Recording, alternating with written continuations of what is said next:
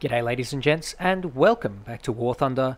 Today we're going to be discussing a topic that has come up in a few videos of mine as well as generally along the community for most of War Thunder's life.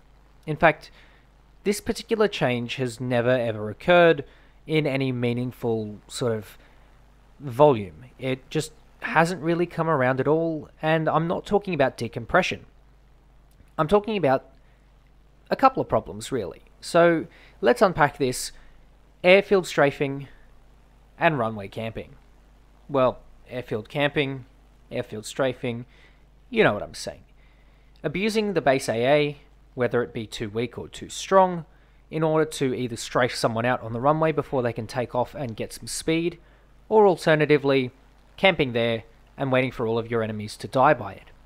Both of these moves are considered uh, not really great, not really showing great sportsmanship, and are generally frowned upon by a lot of the community. However, there really has never been a proper solution. There have been people who have suggested some interesting things, like uh, surface to air missiles or Shilkas or some other increased ability of the air, air or the ground to air capabilities. And some of these could be very interesting while, while implemented this way. They could add a little bit of extra immersion and they could also improve the sort of general feel of the way these particular mechanics work. Perhaps one could be viable out to a certain range and another could be viable out to another range. Now, obviously, these have their own issues.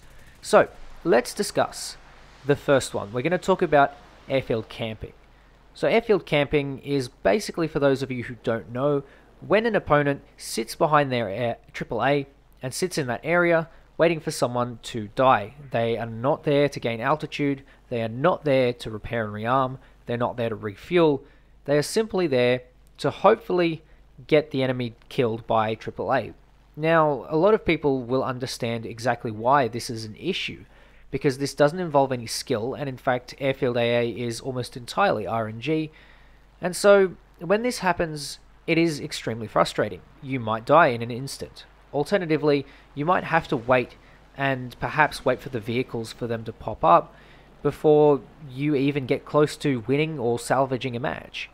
And this is extremely frustrating and extremely unnecessary.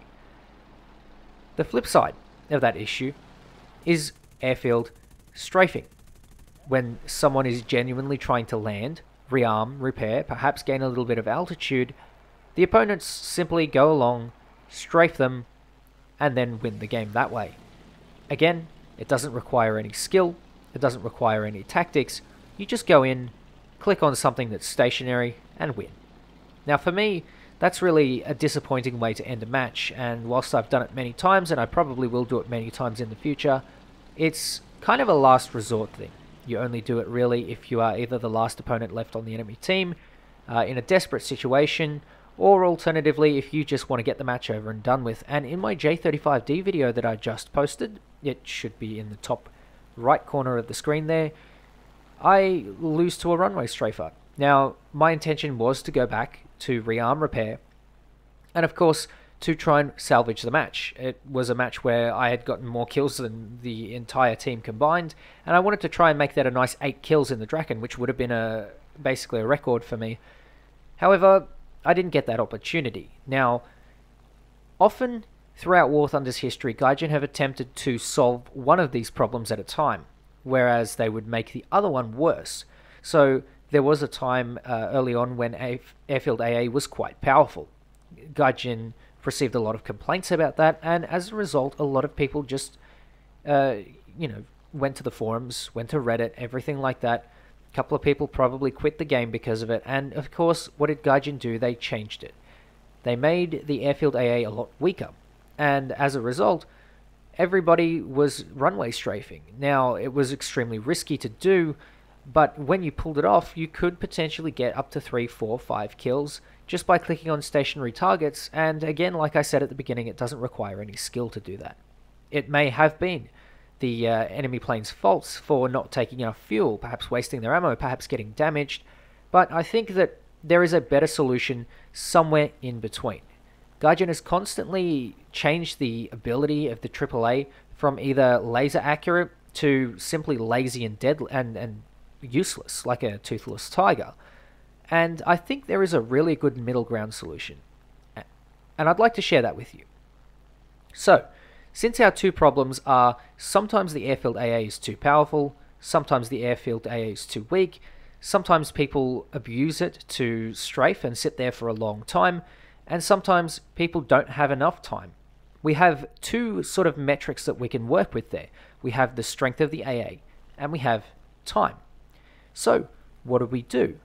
It's quite simple actually you think about how long it might take for someone to repair rearm from say the range of the AA is 6 kilometers because 5 kilometers is about the range that you will see the AA on the little radar in your top right hand corner of the screen. So let's say 6 kilometers, which is one out, and at jets that's really not a big deal because you can cover a kilometer quite quickly. Now, at 5 kilometers, if you were to stay within that margin, within say a 3 or 4 minute period, you would get absolutely annihilated by a surface to air missile. And this surface to air missile could be a nice modern sort of fixed place uh, missile. It could be one of those weird truck driven ones if that was a thing. I think I think it is a thing. Uh, it could even be some weird surface to air missile thing on a Shilka.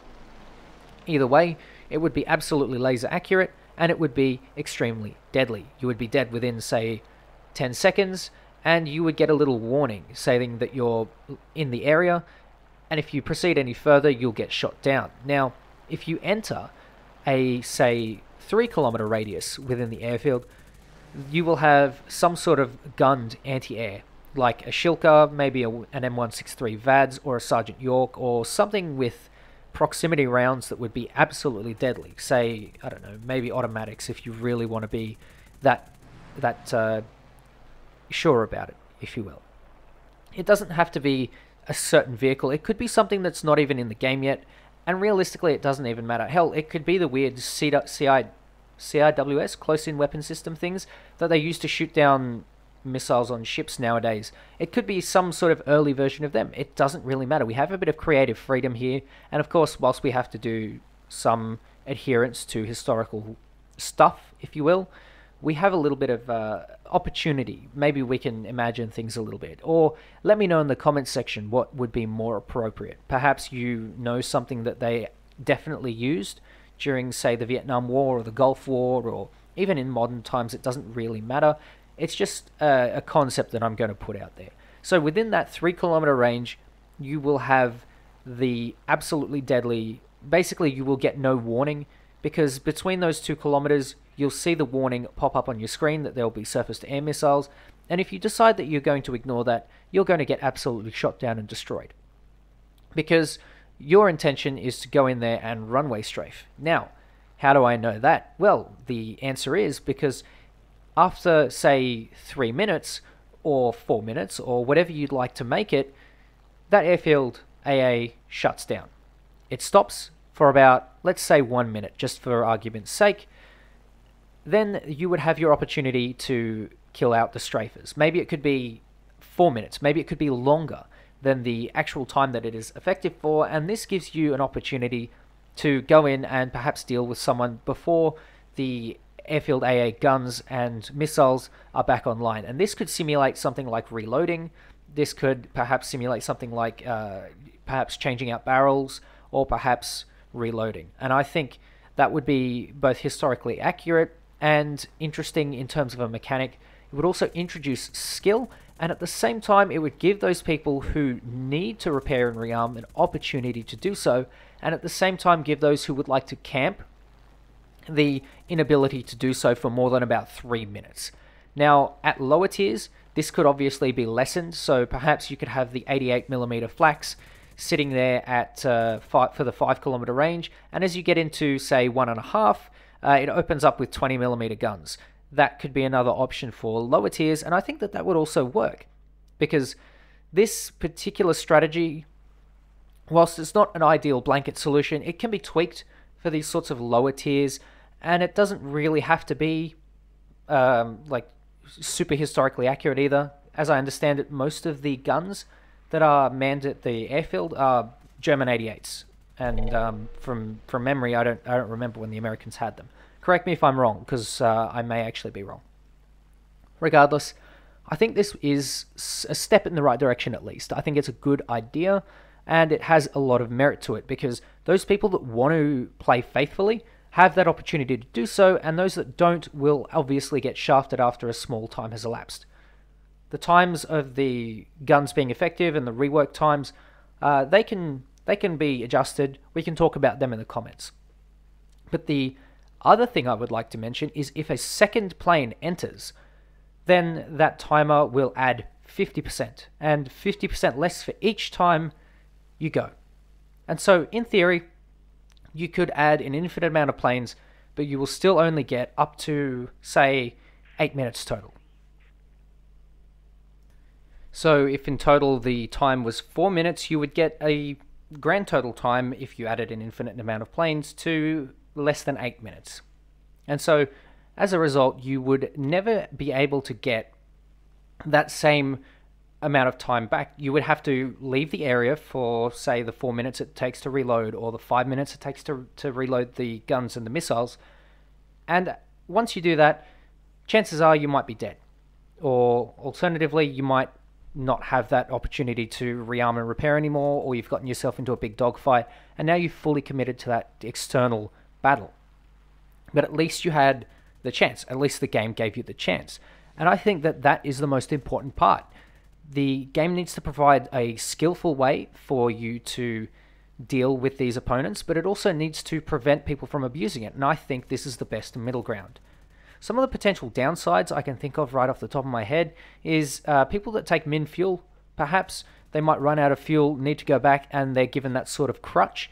But realistically, that's not a really terribly bad thing. Uh, and in most cases, if someone takes min fuel and has to leave midway through a battle, they kind of miss out on the other half of the battle. So if it goes sour really quickly, they're going to have a really low chance of pulling through anyway.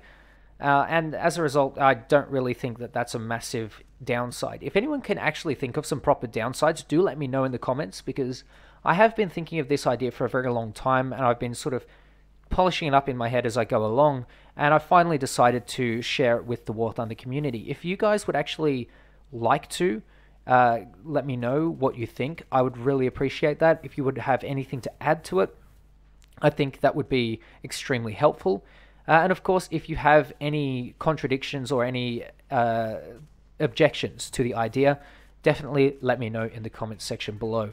I might actually go ahead and make a detailed forum post, but I'm really, really short on time lately. I've basically got a lot on my plate at the moment. Uh, but if someone would like to do that, do let me know in the in the comments or DM me on Discord or something like that, and maybe we can sort of sort something out in that regards. Because I would definitely love to see this added to the game. I have made plenty of videos where I'm either the last one left alive and I don't have the opportunity to land and I get runway strafed, or the other, the reverse happens. I just want to get the game over and done with, and I just go ahead, hold left click, and kill someone on the runway just to get the game over and done with. And whilst I think, oh well, that sort of happens, that's part of life in War Thunder, I really don't want that to be a part of War Thunder life. I'd really like the opportunity to deal with people who want to camp, and I'd also like the opportunity to land, rearm, repair, perhaps J out if I have to, uh, if the game is going too sour. But that's the sort of thing that I would like to see in War Thunder. I think that would be a great quality of life improvement, and I think that a lot of people will agree with me. Anyway, ladies and gents, thank you very much for watching. Wow, I can't English, but thank you for watching anyway. If you guys would like to have a look at their AirModels link down below, you'll find some quite high quality die-cast and resin models. Some of them I have at home right next to me, they are absolutely fantastic, and you might see a photo of them on Instagram if I can be bothered to post it to there. If not, check out the link in the description below. They're fairly well priced for what they are. They ship worldwide. I haven't been able to complain about them at all. As you guys know, I do love a good complaint. Anyway, ladies and gents, thank you very much for watching. Take care, and I'll catch you next time.